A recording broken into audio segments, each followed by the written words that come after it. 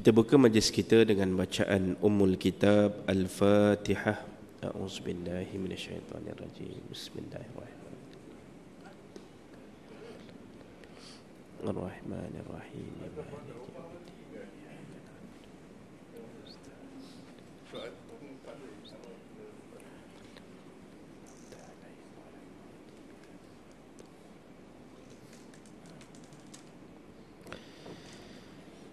بسم الله الرحمن الرحيم الحمد لله رب العالمين وبه نستعين في امور الدنيا والدين والصلاه والسلام على اشرف الانبياء والمرسلين وعلى اله واصحابه ومن دعا بدعوته الى يوم الدين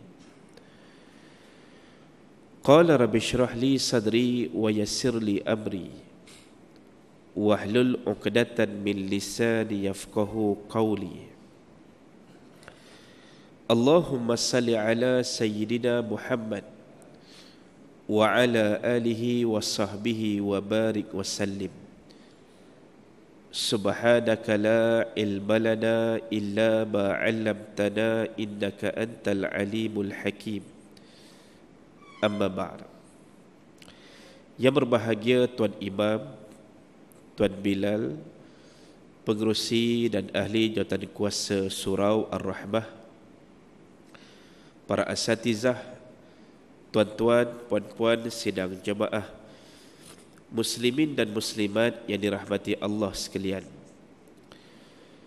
Alhamdulillah kita bersyukur pada Allah Subhanahu wa taala kerana pada pagi yang mulia ini pagi Jumaat bersamaan dengan 14 Zulhijjah. Juga sempena cuti umum 16 September iaitu dinamakan sempena Hari Malaysia. Maka kita bersyukur pada Allah Subhanahu Wa Taala kerana Allah masih lagi memberikan kita peluang hidayah dan juga rahmah untuk sama-sama kita bangun daripada tidur kita dan kemudiannya solat subuh berjamaah. Dan seterusnya kita duduk dalam majlis ilmu. Mudah-mudahan dirahmati dan diberkati oleh Allah insya-Allah. Sidang jemaah yang dirahmati Allah sekalian saya berhajat pada pagi ini untuk sama-sama kita melihat pentafsiran para ulama tentang ayat yang ke-16 daripada surah As-Sajdah. Sebagaimana yang kita maklum, surah As-Sajdah iaitulah surah yang disudahkan oleh Nabi sallallahu alaihi wasallam untuk kita membacanya pada subuh pagi Jumaat dan di sana ada beberapa kelebihan yang besar bagi mereka yang menghafaz surah As-Sajdah. Kerana inilah di antara dua surah yang akan Nabi sallallahu alaihi wasallam membacanya sebelum daripada Nabi tidur. Sidang jemaah dirahmati Allah sekalian. Ayat 16 berbunyi. A'udzu billahi minasyaitonir rajim. Tatajafa junubuhum 'anil madaji' yad'una rabbahum khawfan wa tama'a wa mimma razaqnahum yunfiqun. Sadaqallahul azim. Yang bermaksud mereka beregangkan diri dari tempat tidur. Dengan maksud sedikit sangat tidur. Kerana apa? Mengerjakan sembahyang tahajud dan amal-amal saleh. Mereka sentiasa berdoa kepada Tuhan mereka. Dengan perasaan takut akan kemurkaannya serta dengan perasaan ingin memperoleh lagi keredaannya dan mereka selalu pula menderbakan sebahagian daripada apa yang kami beri kepada mereka. Tuan-tuan yang dirahmati Allah sekalian. Ayat 16 ini kalau kita perhatikan merupakan kesinambungan daripada ayat yang ke-15.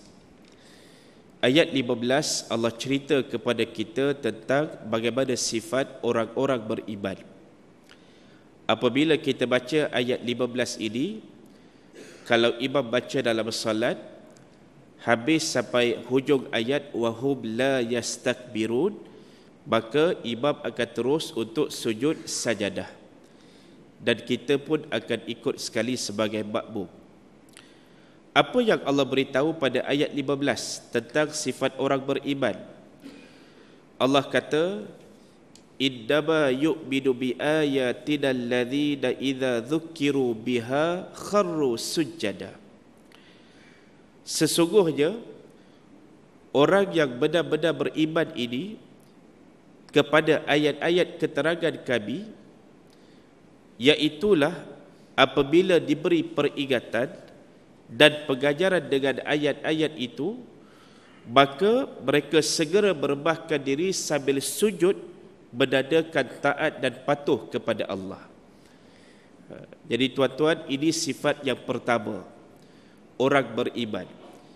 Bila dengar peringatan daripada ayat-ayat Allah, mereka ini segera seolah-olahnya merebahkan diri, tunduk, sujud, patuh kepada Allah Subhanahu wa taala.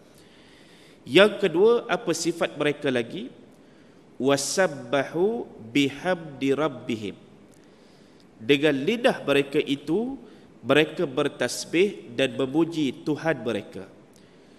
Jadi tuan-tuan, semalam kita selesai hari tasyrik iaitulah hari hari yang juga diharapkan berpuasa 11, 12 dan 13 Zulhijjah.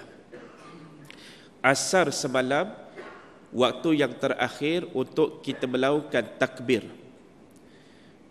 memuji kebesaran Allah Subhanahu wa taala.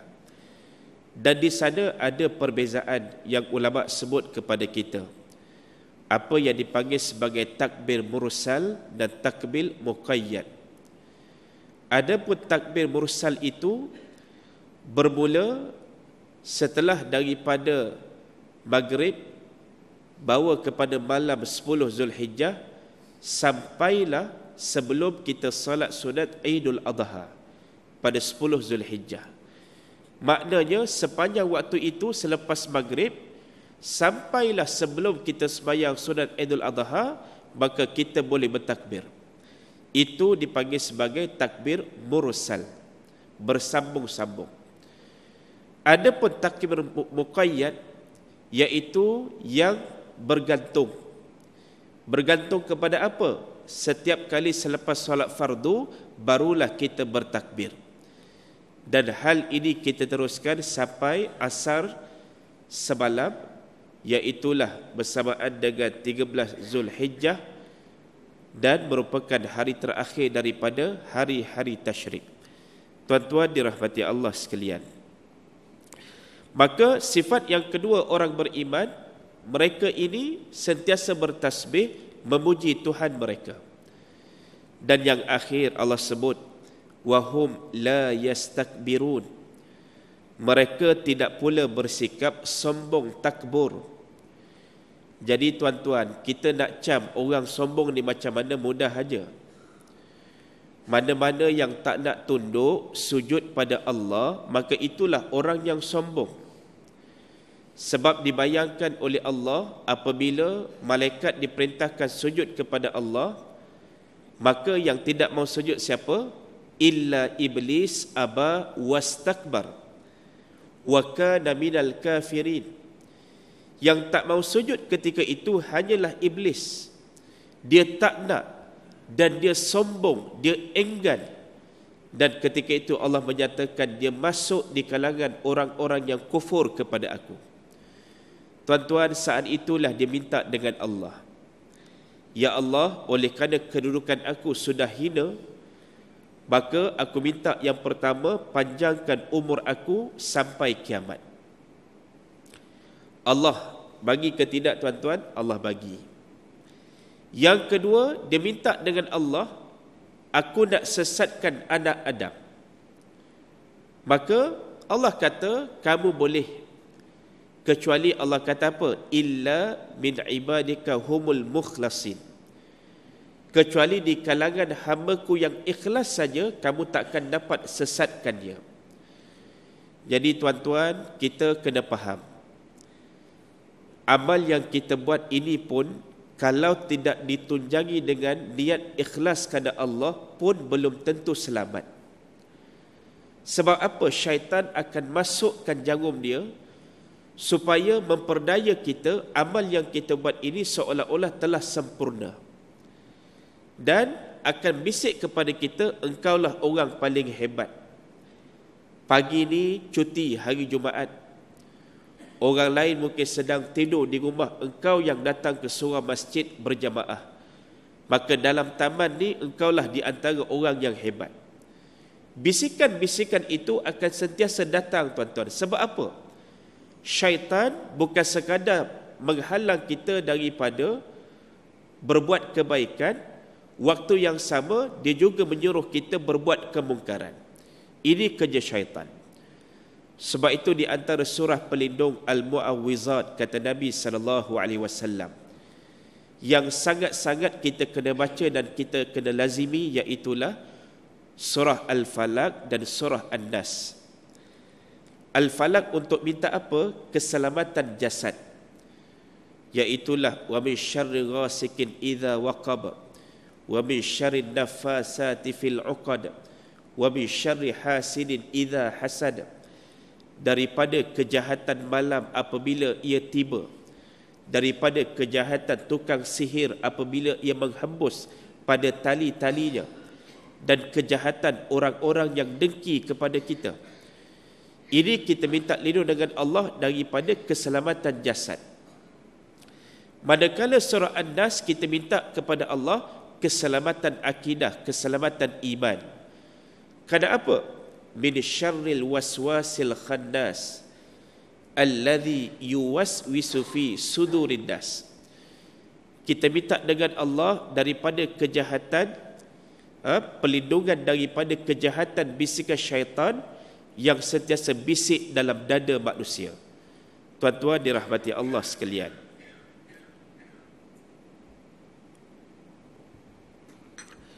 Maka pada ayat yang ke-16 Allah membanjarkan lagi bagaimana sifat orang-orang beriman. Di antaranya ialah yang pertama tatajafa judubuhum anil madaji' sentiasa merenggangkan diri dari tempat tidur. Maksudnya sentiasa bangun malam kurang tidur untuk melakukan tahajud dan melakukan amal soleh bagi mendekatkan diri kepada Allah Subhanahu wa taala. Ini maksud ayat 16 tatajafa junubuhum anil madaji' merenggangkan diri dari tempat tidur. Sebab itu dibayangkan bagaimana Anas bin Malik radhiyallahu anhu satu hari ketika mana Nabi bangun daripada tempat tidur baginda nampak berbekas belakang badan baginda.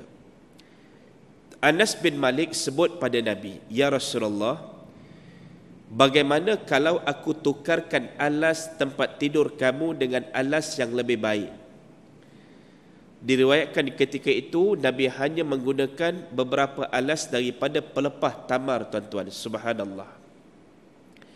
Nabi kata apa? Tidak perlu wahai Anas.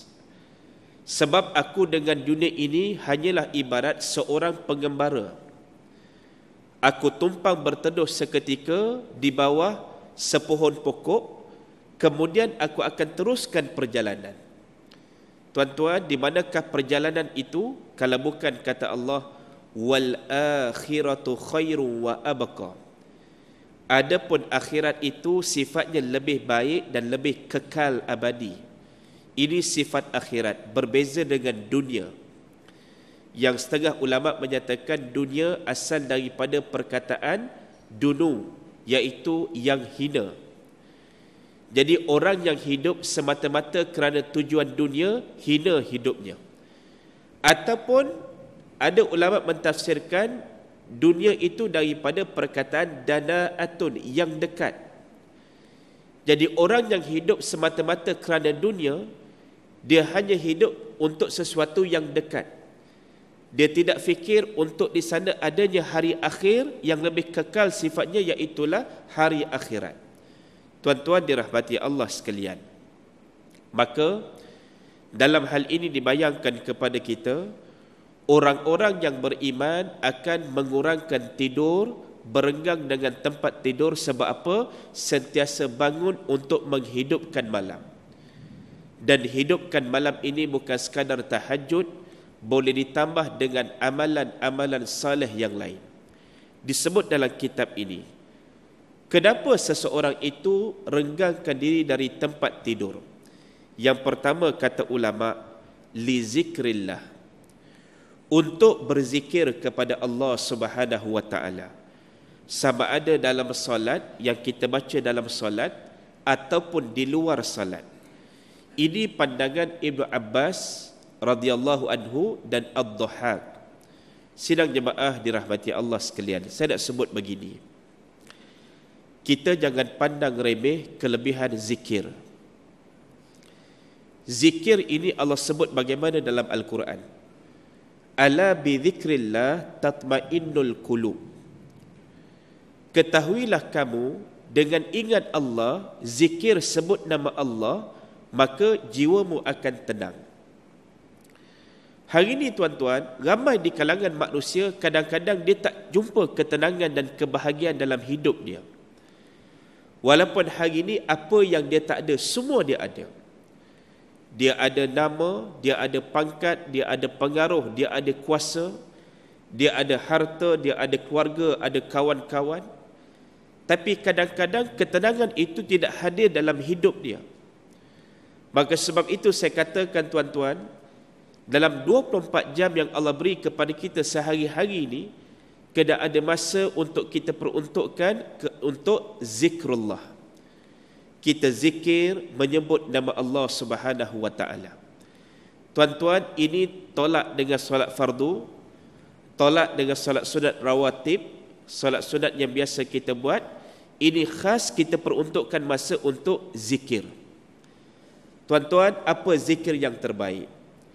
Disebut kepada kita pelbagai bersandarkan hadis yang sahih antaranya apa? La ilaha illallah. Kemudiannya subhanallah wa bihamdi subhanallahil azim. Apa lagi? Subhanallah walhamdulillah wa la ilaha illallah Allahu akbar. Apa lagi tuan-tuan? La ilaha illallah wahdahu la syarikalah. Lahul mulk walahul hamd yuhyi wa yumit wa huwa ala kulli syai'in qadir. Sebab itu ada hadis sahih Nabi cerita kepada kita setiap kali lepas salat subuh dan salat maghrib sebelum daripada kita baca doa dalam keadaan kita masih bertahiyat akhir itu maka selepas istighfar tiga kali kita baca la ilaha illallah wahdahu la syarikalah itu sepuluh kali maka di sana ada ganjaran besar yang Allah sediakan kepada orang-orang yang beriman yang mengamalkan amalan ini.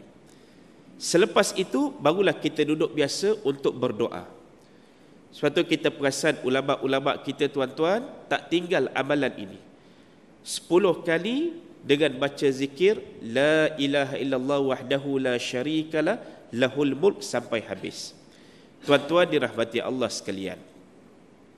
Dan kita nak sebut dengan kelebihan zikir ini juga menyelamatkan Nabi Yunus AS daripada terus berada dalam perut ikan nun sampai kiamat. Allah kata kalaulah tidak kerana hamba kami ini bertasbih memuji kami kemudian mengenang kesalahan dirinya maka nescaya dia akan berada dalam perut ikan itu sampai kiamat apa tasbih yang dibaca oleh Nabi Yunus AS la ilaha illa anta subhanak inni kuntu minaz zalimin. Tidak ada tuhan melainkan engkau ya Allah. Maha suci engkau. Sesungguhnya aku termasuk di kalangan orang yang menzalimi diri aku sendiri. Kita tanya balik sebab apa seseorang itu zalim kepada diri sendiri dengan sebab dosa dan maksiat yang dia buat. Maka disebut oleh para ulama yang setengahnya berpandangan ini doa Nabi Adam AS dan Siti Hawa. Rabbana zalamna anfusana wa illam taghfir lana wa tarhamna lanakunanna minal khasirin. Wahai Tuhan kami kami telah banyak menzalimi diri kami dengan sebab dosa dan maksiat yang kami lakukan. Seandainya engkau tidak mengampunkan dosa-dosa kami dan merahmati kami nescaya kami masuk di kalangan orang-orang yang rugi. Tuan-tuan ada orang salah faham tentang dosa ini. Ada orang kata kita buat dosa nanti kita taubat. Nanti-nanti itulah yang kita bimbang kita tidak sempat bertaubat Contoh, dia banyak buat benda yang tak betul waktu usia muda. Nanti dia kata, aku tua nanti aku taubatlah. Tuan-tuan, kalau sempat tua, Alhamdulillah. Kalau tak sempat tua, balik menghadap Allah nak jawab macam mana? Jadi yang terbaik itu kata Nabi begini. Kullu bni Adam khatta'un wa khairul khatta'un at-tawwabun sadaka Rasul. Setiap anak Adam itu cenderung berbuat salah dan dosa. Kita bangun pagi ni tuan-tuan, alhamdulillah mungkin niat kita betul lagi datang ke surau solat subuh berjamaah. Nanti lepas subuh nanti mungkin nak pergi sarapan. Dalam perjalanan pergi ke kedai nak beli sarapan itu, tengok aurat orang. Kemudian beli pula nasi lemak. Sambalnya tak sedap, ngumpat pula yang penjual tu tuan-tuan. Jadi di situ kita dah banyak cenderung nak berbuat dosa. Tapi Nabi kata macam mana? Yang terbaik di kalangan orang yang buat salah dan dosa itu adalah orang yang bertaubat. Jadi tuan-tuan, buat dosa terus istighfar. Bukannya kata nanti kita taubat. No. Bermaksud setiap kali kita berbuat dosa dan salah, ikuti segera dengan taubat, minta ampun kepada Allah. Dan yang saya sebutkan kadang-kadang orang yang berbuat amal pun kena jaga-jaga. Sebab yang saya katakan di awal tadi, kalau kita tidak waspada, tidak hati-hati, kita akan dihinggapi dengan penyakit yang boleh merosakkan amal. Apa dia? Ar-riya, ujub, takabbur, sub'ah, adaniyah dan sebagainya. Semua sifat-sifat membangga diri sebab apa? yakin diri lebih baik daripada orang lain dengan amal yang dia buat. Tuan-tuan dirahmati Allah sekalian. Baik. Maka bila cerita tentang zikir ni saya nak kongsi sedikit tentang baru-baru ni kita buat lagi program ha, Bukhayyam dengan sekumpulan maknyah. Ha, orang panggil saya dah pakai maknyah tuan-tuan. Uh, sebab memang PhD pun kita kaji pasal LGBT. Jadi tahun lepas kita buat di Cameron Highland tempat sejuk. Bau-bau ni bulan bulan 8 yang lepas kita buat di Maran Pahang. Buat di kawasan hutan. Pusat latihan Jabatan Perhutanan Negeri Pahang di Maran.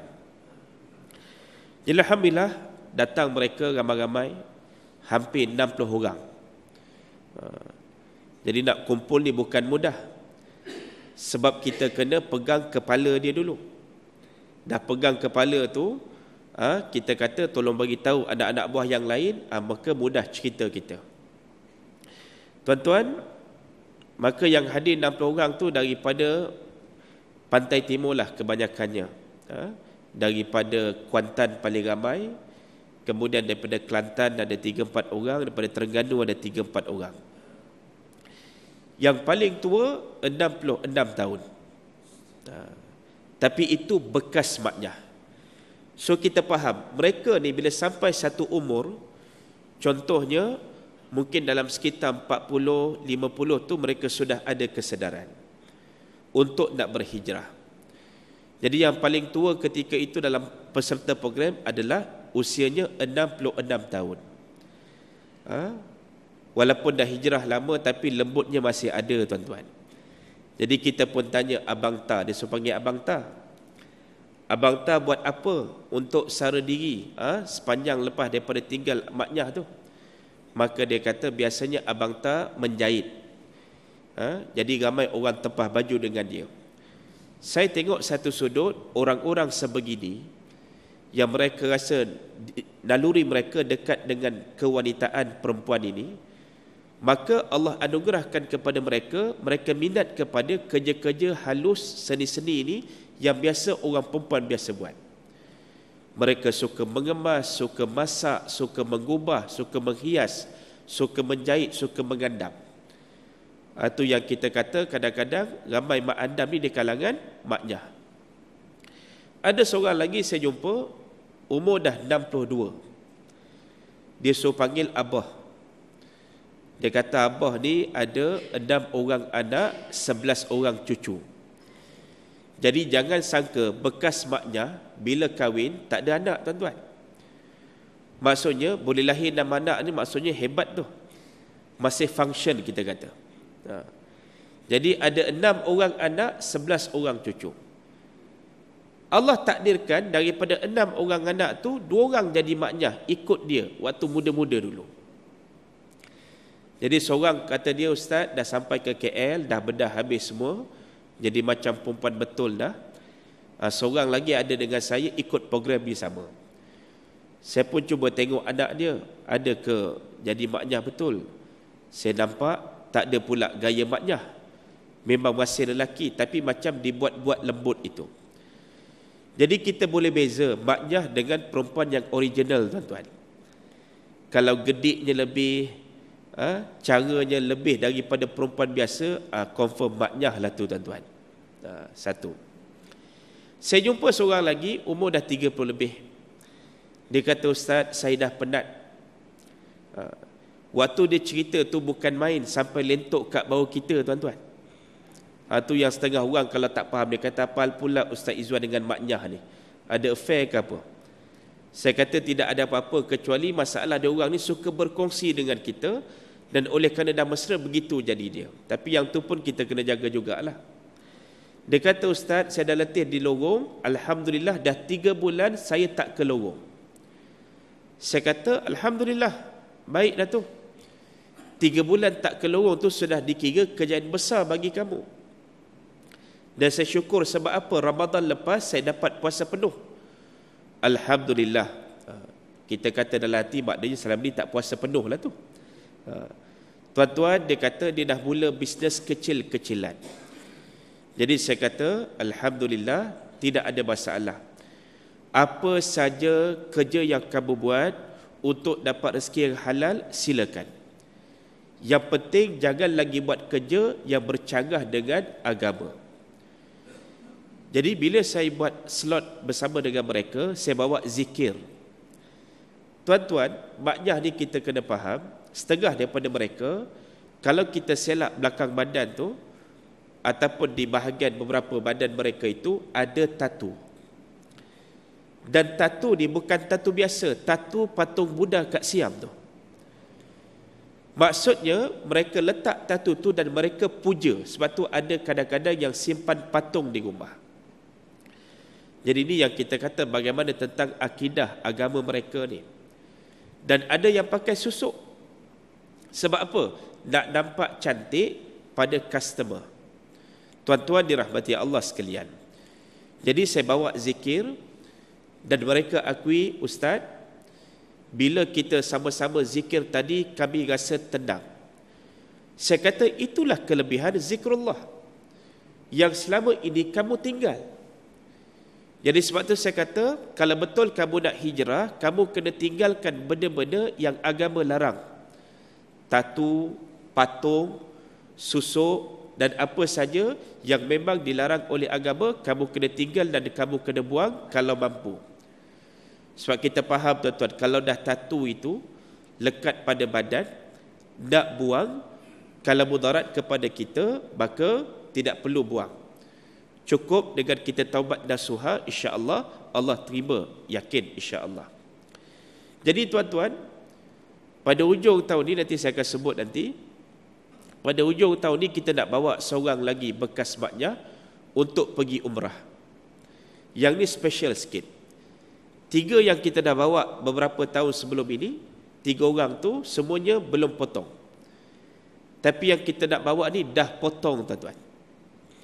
Orang tanya pula macam mana pula ustaz maknya yang dah potong ni? Saya kata kalau dah potong potonglah. Apa masalah lagi? Yang penting dia nak taubat nasuha nak hijrah. Dah potong tak boleh sambung dah tuan-tuan. Tak mana-mana dicampak sungai mana tak tahu dah jadi dah potong potong habis cerita. Sekarang ni tengok ke depan, kamu nak taubat nasuha, kamu nak hijrah, ada orang nak bawa kamu pergi umrah, maka betulkan niat dan waktu yang sama kekalkan nekat untuk hijrah kerana Allah. Jadi tuan-tuan saya sebut uh, ini yang kita nak bawa insya-Allah uh, pada hujung tahun ni. Dan kita berdoalah supaya dia boleh istiqamah di atas kebaikan dan di atas hijrah. Sebab orang banyak tanya pada saya Macam mana cerita Safi Ilyas ni Ustaz? Hari itu bukan main hijrah Heboh satu Malaysia ha? Maknya yang cantik Muda, jutawan Kemudian hijrah Tak sampai 3-4 bulan Patah balik Saya dengan ini isytihar Saya akan jadi maknyah balik Sebab apa dia kata Saya penat jadi baik saya hijrah pun orang dok kata saya macam-macam lagi. Tuan-tuan, saya kata mudah begini saja. Hati manusia ni berbolak-balik tuan-tuan. Jangan kata dia, kita pun sama. Hari ini mungkin kita semangat untuk amal ibadah. Esok belum tentu. Jadi sama macam dia. Dalam keadaan mungkin ada faktor-faktor sekeliling itu dengan uh, bisnes yang hebat jadi jutawan dengan publicity yang meluas. Jadi waktu kerana itu dia mungkin belum benar-benar nak berhijrah. Akhirnya patah balik. Cuba dia ucap terima kasih kepada bada-bada sahabat yang telah bantu dia untuk dia hijrah dan dia minta satu aja tolong doakan yang baik-baik untuk saya jadi saya kata mudah tuan-tuan dalam hidup ini setiap orang ada potensi untuk istiqamah atas kebaikan dan untuk berhijrah. Dan kita ni tidak ada ruang untuk menghukum orang lain. Walaupun sejahat mana dia sebelum ini, tapi di saat kalau Allah dah bagi hidayah kepada dia, maka saat itu kita kena yakin tidak ada yang boleh menghalang. Tuan-tuan dirahmati Allah sekalian. Baik.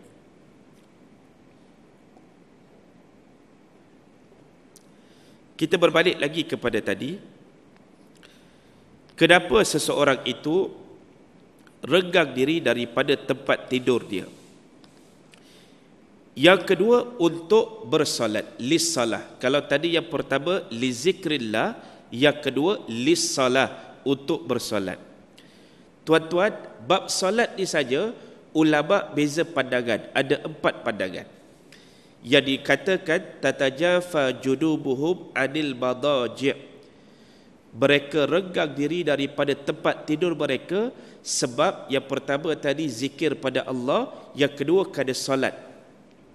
Solat ini pula ada empat pandangan ulama. Yang pertama solat sunat di keheningan malam.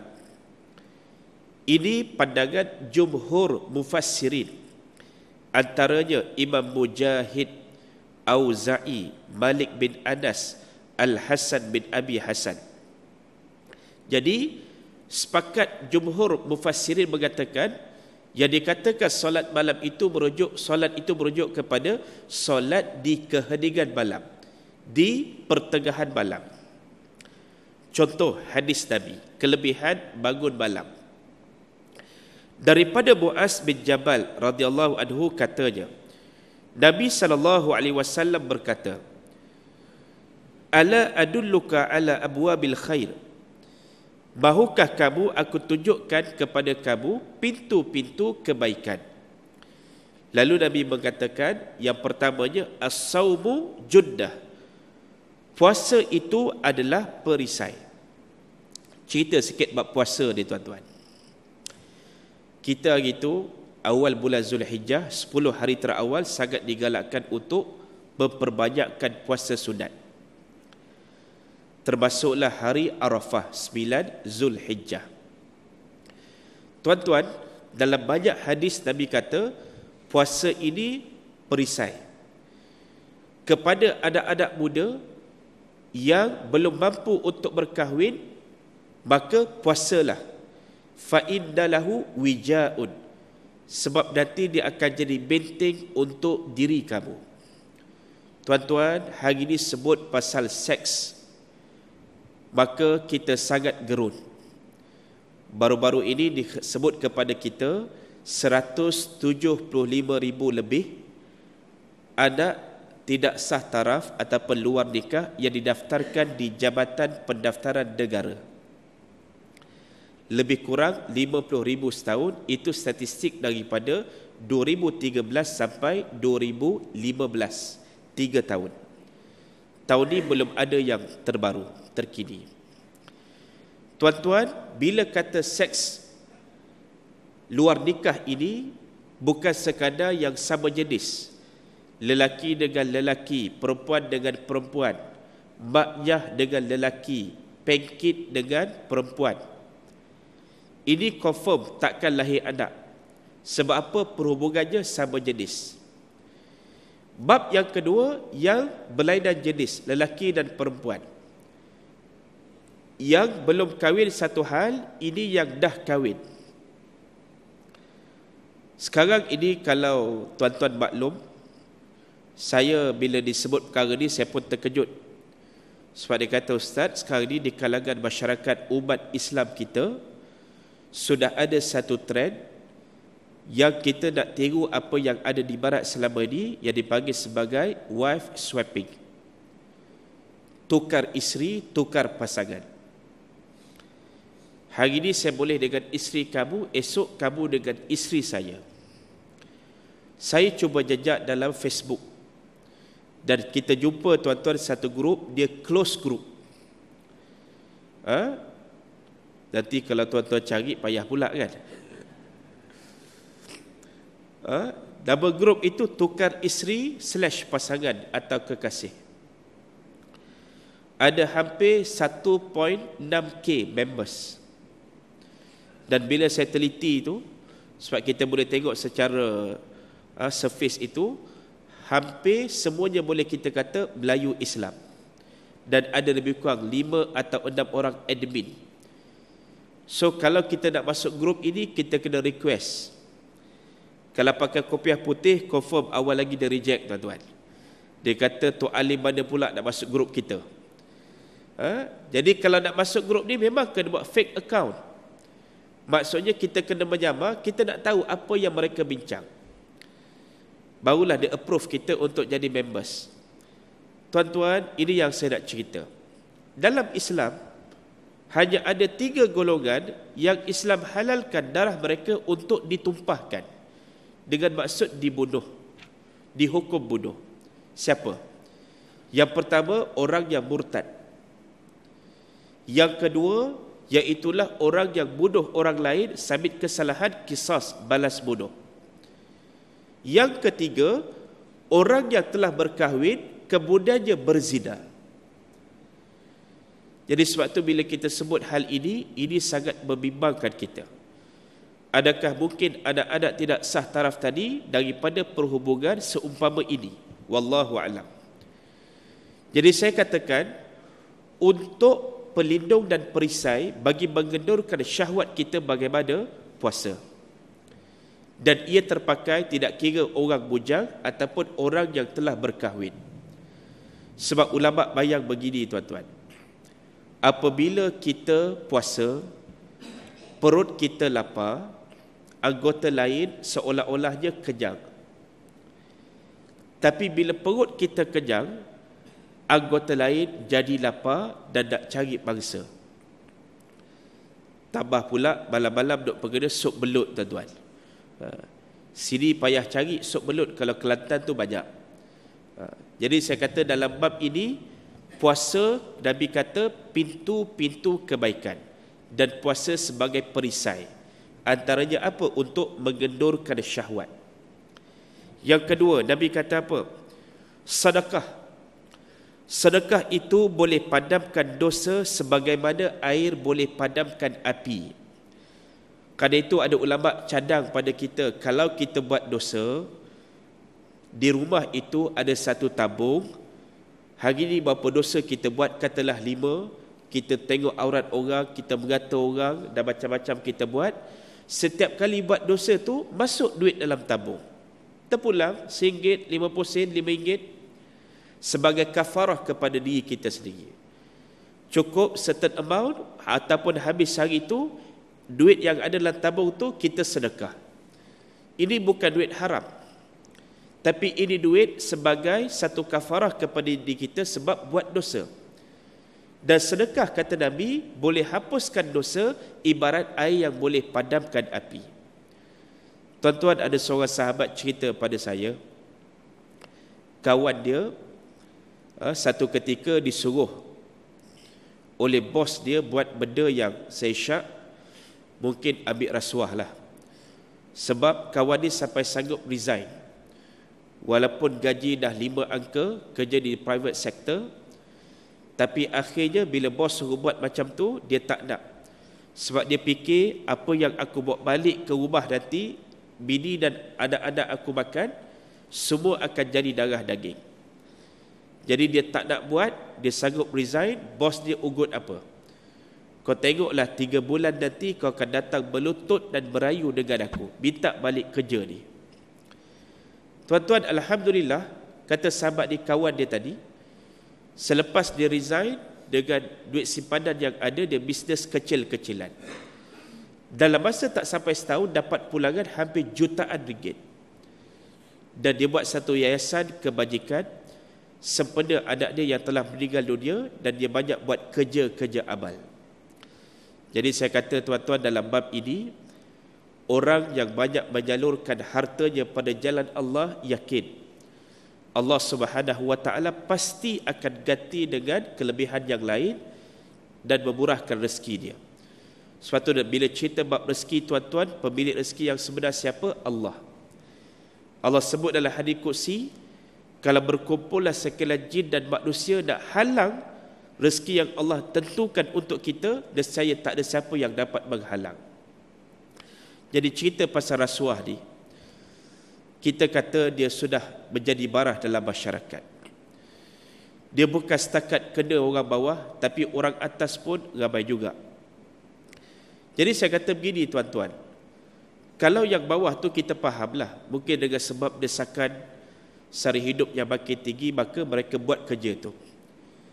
Tapi yang kita tak faham ni yang duitnya dah banyak gajinya banyak pangkatnya tinggi tapi masih tergambar untuk ambil rasuah jadi kita boleh simpulkan orang sebegini tidak cukup tidak puas dengan apa yang dia ada jadi saya ingat bila di Indonesia dia orang kata lagi dahsyat daripada tempat kita sebab katanya di sini Pak rasuahnya bukan setakat atas meja. Bukan setakat bawah meja. Tapi dengan meja-meja di rasuahnya Pak. Itu di sana. Wallahu a'lam. Orang sana ceritalah. Bila saya pergi Jakarta bulan 4 lepas, nak balik sampai di kapal A, di airport, waktu belum balik tu saya belilah kek lapis sikit, kek lapis Indon kan sedap. Saya beli, masuk beg dalam tempat scan, dia pun scan, tiba-tiba nampak kit lapis kita. Dia pun suruh keluarkan tuan-tuan. Dia pun kata apa? Dia kata, Pak, kalau tinggal di sini pun bagus juga ya. Tuan-tuan, tak minta duit kit lapis pun jadi tuan-tuan. Saya kata, minta maaf ya Pak, saya ini jauh datang daripada Malaysia. Jadi saya beli kek ini nak bawa pulang untuk bagi kepada isteri saya dan anak-anak makan. Saya cakap macam tu dia pun malu Allah, dia pun lepaskan kita. Kalau tidak memang dia suruh tinggal kek lapis tuan-tuan. Jadi nak cerita pada kita ini masalah dia. Kalau sudah jadi budaya, sudah jadi sebati dengan diri, maka tak dapat duit, benda pun jadi. Dan hari ini bila kata rasuah, dia bukan setakat melibatkan duit. Cuba tuan-tuan tengok kes-kes yang dikendalikan oleh SPRM. tahu je dapat kereta mewah. tahu je rumah renovate. So hari ini rasuah bukan setakat dalam bentuk duit tapi dalam bentuk benda dan barang. Jadi kerana itu kita katakan dalam bab ini orang yang banyak bersedekah sebenarnya orang ini dia akan fikir harta itu bukan milik dia. Apabila diinfak pada jalan Allah maka Allah akan ganti dengan lebih baik.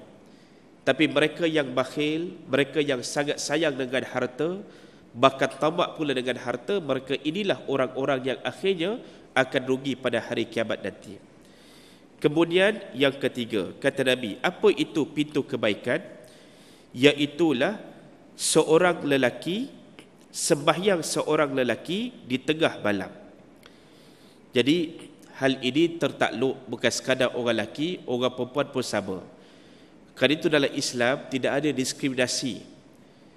Mana-mana orang lelaki, orang perempuan beriman, selagi mana kamu buat amal soleh, maka dua-dua ada chances yang sama untuk masuk syurga Allah. Ini yang kita kena faham. Dia bukan kata orang lelaki lebih, orang perempuan lebih. Tak ada. Dua-dua sama. Ada chances yang sama. Jadi bila Nabi sebut dalam hadis, sebayang seorang lelaki di tengah malam, dia termasuk juga seorang perempuan. Tuan-tuan dirahmati Allah sekalian. Kemudian, apa lagi Nabi kata? Nabi kata, hendaklah kamu bangun malam. Kerana bangun malam itu kelaziman orang-orang soleh sebelum kamu. Jadi tuan-tuan, kita tak jadi orang soleh pun, ikut cara hidup orang soleh pun jadilah. So apa cara hidup mereka? Bangun malam. So kita ikut. Apa lagi kelebihan bangun malam? Kata Nabi, mendekatkan diri kepada Allah mencegah dosa, hapus keburukan dan usir penyakit daripada badan. Ini kita boleh tengok kajian saintifik. Bagaimana keheningan malam, tengah-tengah malam kita bangun itu, mungkin dengan suasana yang tenang dan sunyi itu, ada efek kepada tubuh badan kita, menyehatkan dan menyegarkan tubuh badan kita. Wallahu'alam. Jadi kita boleh tengok kajian-kajian yang mungkin telah dibuat. Kemudian Nabi kata apa lagi? Sebayang yang paling afdal selepas sebayang fardu ialah sebayang malam. Jadi habis sebayang fardu, yang paling afdal lepas sebayang fardu itu apa? Solat malam. Tuan-tuan, bila cerita solat malam ni yang terbaik bagaimana? Satu per tiga malam.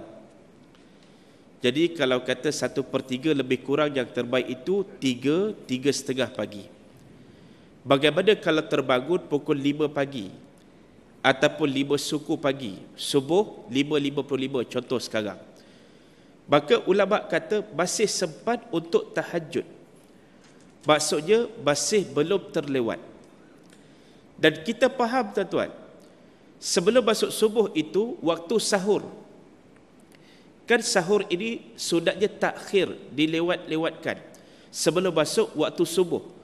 Bila waktu sahur yang terbaik itu kira-kira kata Nabi kamu membaca 40 ke 50 ayat Al-Quran yang pendek-pendek sebelum subuh. Itu waktu sahur yang sebenarnya. Dan apa yang patut kita buat pada waktu sahur yang Allah angkat darjat golongan ini wal mustaghfirin bil ashar. Orang yang perbanyakkan istighfar pada waktu sahur. Jadi tuan-tuan, kalau kita jauh daripada rumah, surau ini, maka sepanjang perjalanan kita sebelum subuh itu, banyakkan istighfar. Sebab itu saya kalau orang bagi pilihan, kalau kuliah maghrib atau kuliah subuh, saya prefer kuliah subuh. Sebab apa? Subuh ini yang kita confirm, kereta tak ada tuan-tuan yang ada budak-budak berempit tuan-tuan. Jadi kita saing dengan dia. Saya kalau daripada Puchong rumah Pak Mentua di Kampung Seri Aman. Kita nak keluar ke LDP, arah ke IOI Mall itu. Ha, dekat situ, dekat tol itulah pot dia orang. Dia akan start di situ dan dia akan berlumba sepanjang menuju ke nak menuju ke lebuh raya uh, apa tu plus tu. Di situ tempat dia berlumba. Jadi saya pun kita nak tegur pun tak ada kekuatan kalau nak jumpa seorang-seorang tu. Kita berdoa ajalah. Ya Allah, berilah hidayah kepada anak-anak muda kami ini. Kalau betul lah kamu nak jadi jago lumba, ha, pergi berlumba dekat tu, Lita Sepang tu. Untung-untung boleh jadi macam super keep. Tahu super keep tuan-tuan? Khairul Idham Pawi itu umur baru 18 tahun. Dua kali naik podium acara apa? 250cc Grand Prix motor tuan-tuan dunia. Nak cerita anak Melayu umur 18 tahun dua kali naik, naik podium. Bila orang sembuh arak dia awal-awal lagi cabut tuan-tuan. Ini contoh yang kita nak tengok bagaimana sifat kita walaupun jauh berada daripada mak ayah daripada masyarakat setempat tapi pandai bawa diri dengan sebab apa didikan agama yang teguh tuan-tuan dirahmati Allah sekalian jadi cerita pasal sukan ni saya sebut dalam sambil-sambil kita tunggu emas olimpik tak dapat-dapat sekali yang dapat emas paralimpik tuan-tuan ha, tiga orang pula sekaligus dapat Tuan-tuan, saya kata ini hikmah yang sangat besar Allah nak tunjuk pada kita. Yang pertama, kita ni orang normal. Ha? Kalau kita tengok, semalam saya tengok satu video, orang ha, main sukan Paralimpik ni memang semua yang memang orang kelainan upaya, OKU. Ada seorang ni main pimpong, tangan dua-dua tak ada, dia pegang bat pimpong macam mana tuan-tuan, guna mulut tuan-tuan. Bola dia nak servis macam mana? Kaki tu dia akan lambung bola tu kemudian dia servis. Masuk. Yang lawan ni tak dapat jawab jadi nak cerita bagaimana kesukaran dia jadi kalau kita kata lah tak apalah sukan paralimpik boleh dapat emas sebab tengoklah siapa yang bertanding semua yang lemah-lemah belaka cuba kita jadi macam dia tuan-tuan boleh dapat emas belum tentu kemudian orang orang bincang ha? Ini orang Melayu Islam semua dapat. Cuba nak bangkitkan sentimen perkauman. Tuan-tuan di sebalik kejayaan itu cuba tengok siapa di belakang dia. Kalau kata yang menang 100 meter itu Ridwan itu ah, jurulatihnya iaitu seorang berbangsa India Arja Ganathan. Dan dia kata apa saya sudah anggap Ridwan ini macam anak saya sendiri. Tuan-tuan saya kata ini muslim yang baik. Maksudnya dengan segala latihan yang diterapkan kepada dia dia ikut dan dia berjaya jadi juara dunia. Dan mudah-mudahan jadi asbab untuk jurulatih itu dapat hidayah. Dan saya kata muslim yang baik dia berusaha sebaik mungkin dan boleh jadi inspirasi kepada semua orang tak kira bangsa, tak kira agama. Tuan-tuan mereka dapat emas. Siapa yang puji? Chongwei puji tuan-tuan. Sebab Chongwei pun tak dapat emas. Siapa puji mereka? Pada Lela Rindong puji tuan-tuan. Maksudnya mereka ini sudah menjadi inspirasi kepada orang yang berbeza agama dan bangsa. Dan ini saya kata kehebatan seorang Muslim. Tak payah sangkut dengan sentimen perkauman itu. Jadi ini yang sama-sama kita nak tengok. Tuan-tuan dirahmati Allah sekalian. Kemudian berkata Aisyah radhiyallahu anha, jangan tinggal sembahyang malam kerana sesungguhnya Nabi sallallahu alaihi wasallam tidak meninggalkannya dan apabila dia sakit ataupun tidak larat maka dia sembahyang duduk masya-Allah. Tak larat macam mana pun Nabi sembahyang juga Nabi tak tinggal. Tetapi bagaimana? Nabi sembahyang duduk. Itu ha, yang kita dengar almarhum tuan guru dia Abdul Aziz ha, Menteri Besar Kelantan dulu. Bila ucapan terakhir dia sebelum dia meninggal dunia di hotel di Palma Ampang dia kata sehingga Amba dalam hidup ni selepas akil balik hari itu dua kali baru Amba tinggal tahajud. masya-Allah. Baru dua kali tinggal tuan-tuan. Kita ni baru dua kali buat. Kata balik tu. Dia tu baru dua kali tinggal. Jadi sebab tu saya kata orang-orang hebat ni dia bukan kira pada fizikal. Kalau tengok kepada tubuh almarhum ni orangnya kecil tapi jiwanya besar.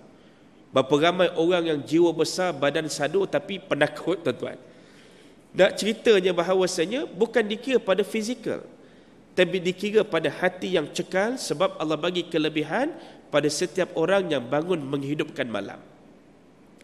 Kemudian Nabi kata apa?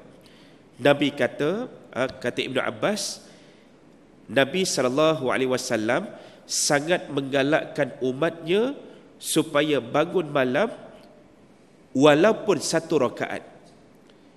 Jadi malam-malam kita pun tuan-tuan, tahajud pun malas sangat nak buat dua rakaat, at least satu rakaat pun jadilah. Apa dia? Witir. Jadilah. Tapi jangan tinggal langsung.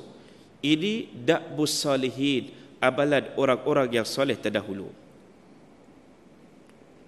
Itu pandangan pertama. Solat dengan maksud solat malam.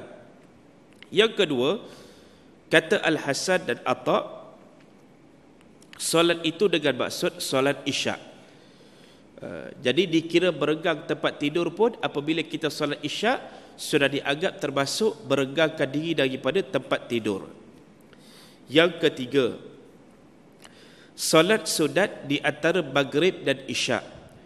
Yang juga setengah pandangan mengatakan solat-solat awabin daripada dua rakaat sampai dua belas rakaat. Yang keempat, solat isyak dan subuh secara berjamaah. Kerana orang yang sembahyang isyak dan subuh dianggap merenggangkan tubuh dari tempat tidur. Nabi sebut begini. Nabi kata, siapa-siapa yang sembahyang isyak jamaah, maka dia telah bangun separuh malam. Dan barang siapa yang sembahyang isyak dan subuh berjamaah, maka dia telah bangun sepanjang malam.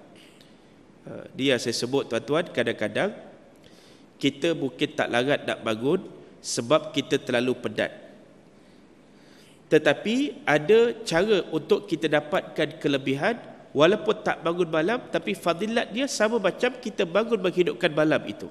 Apa dia? Kita jaga solat isyak dan subuh berjamaah. Dia ganding tuan-tuan. Isyak malam tadi dan subuh pagi ini ha, itu baru dapat menghidupkan sepanjang malam. Jadi kalau kata isyak malam tadi, subuh pagi ni tak bangun, dapat separuh je lah tuan-tuan. Ha, itu maksud daripada hadis tadi. Kesimpulannya, sesiapa yang mengerjakan kesemua solat di atas empat pandangan ulama tadi, yang solat malam, yang solat isyak, yang solat sunat selepas maghrib dan isyak, dan yang solat isyak dan subuh berjamaah, maka ia telah dikira orang yang meregangkan diri dari tempat tidur insya-Allah. Jadi tuan-tuan, kita usahalah setakat mana yang kita mampu di antara empat tadi. Yang akhir orang yang beriman mereka berdoa kepada Allah dengan perasaan takut dan sentiasa inginkan keredaan Allah.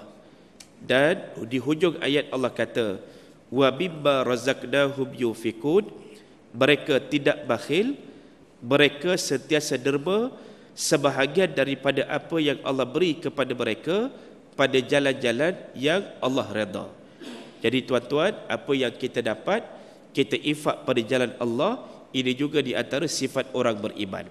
Maka akhirnya tuan-tuan bersama dengan saya ada sebuah buku ada saya bawa di belakang sana hadis-hadis sahih tentang perlakuan LGBT yang pada buku ini terbit dalam dua bahasa.